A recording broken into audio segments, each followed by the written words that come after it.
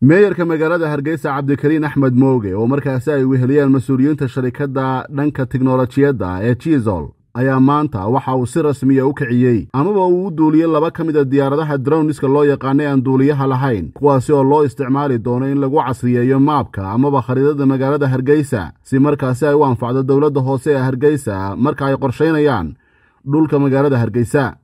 Diyaaradahan oo kharash badan uu ku baxay soo iibintooda ayaa meeyarka magaalada hargeysa maanta uu si rasmiya beerta xorriyadda ee magaalada hargeysa uga kiciyey.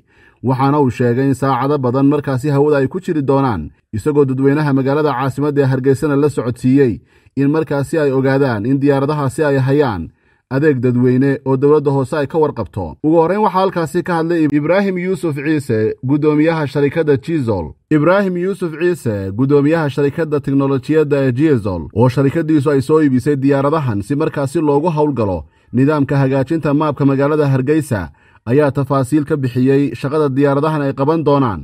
Waxaa maanta sharaf weyn ah inaynu soo bandhigayno diyaarado casriga ah ee aan duuliyaha lahayn ee loo yaqaano drowniska kuwaasoo loogu tala galay inay qaadaan maabka ama khariiradda casriga ah ee magaalada hargeysa si ay u fududaato qorshaynta iyo baahiyaha kale ay caasimaddu u qabto in la ogaado meelaha ay marayaan biyuhu laydhka iyo isgaadhsiinta.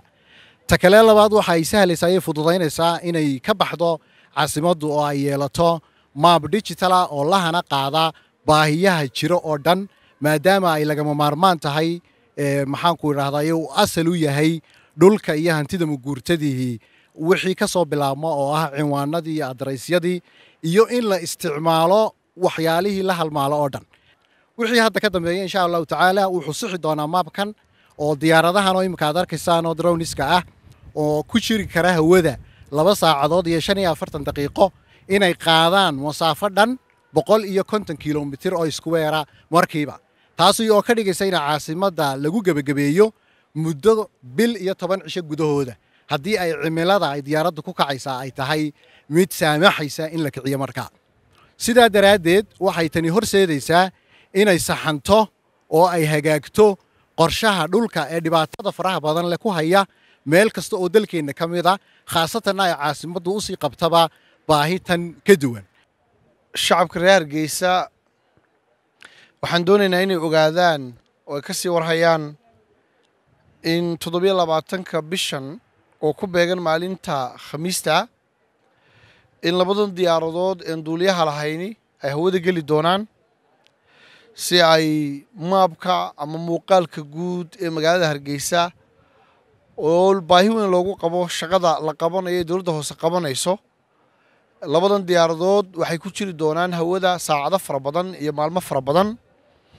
Marka waxaan doonaynaa shacabku inay ogaadaan mar kastoo ay arkaan inaanay ka shakiin inay ogaadaanuun shaqadii loo hayey uun inay qabanayaan.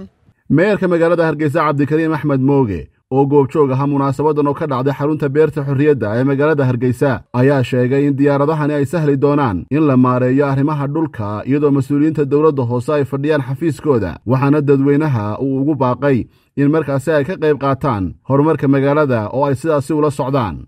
Annagana ka madax ahaan noo sahli doona muuqaalka guud ee magaalada hargeysa markaanu hello ama khariiradeeda markaanu hello annagoo xafiiskayga iska fadhina markaa go'aamada xasaasiga ah maadaama dhulku yahay waxa ugu xasaasisan maanta somalilan inaan annagoo xafiiskayga iska fadhina aanu arki karno meel kasta iyo goob kasta oo magaalada hargeysa ku taalla inta aanan ogolaanshaha aanaan bixin.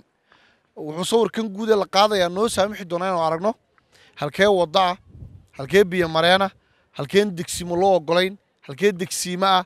Marka dee magaaladu hadda waa weyn tahay madaxdu marka ay wax ansixinayso ama ogolaanayso way ku adag tahay meel walba inay iyagu tagaan cagahooda ku tagaan soo arkaan. Marka labadan darown aynu kicin doonaa. Waxay inoo saamixi doonaan in madaxda dowladda hoose ee shaqadaa hayaa ay si dhib yar iyagoo xafiisyadooda fadhiya meel kasta oo magaalada hargeysa ka mid ah inay dul tegi karaan oo ay eegi karaan. Waa asadaynu leenahay. Marka waxaa loo baahan yahay hadday xitaa cillad farsamo dhacdo oo baashaasi farsamayaqaankii waday oo ka durugsan ay meel la fadhiisiyo. In sidii ilmihiinna oo kale reer hargeysow aa u ilaashataan waayo qiimo saray nagu joogaan. Labadan daroon waa kuwii ugu dambeeyey ee ugu casrisanaa ee hadda soo baxay weeye. Wax shakiya na aanay ka muujin marka ay arkaan labadan darown oo magaalada dusheeda maraya waayo markiiba laba saacadood bay ku jiraysaa hawada boqol iyo konton kilomitir oo isku wareega. Ayay maraysaa labadaa saacadood cabdishakuur dayib maxamed m m t v. Hargeysa